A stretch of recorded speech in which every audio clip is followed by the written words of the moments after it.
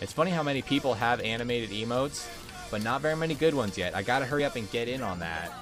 Well, everybody needs good animated emote. Again, anytime. I stream every day except for Sunday. Tomorrow is going to be Fall Guys Friday, so it will be something different.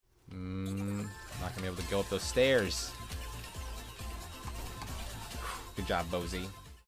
That sounds about right.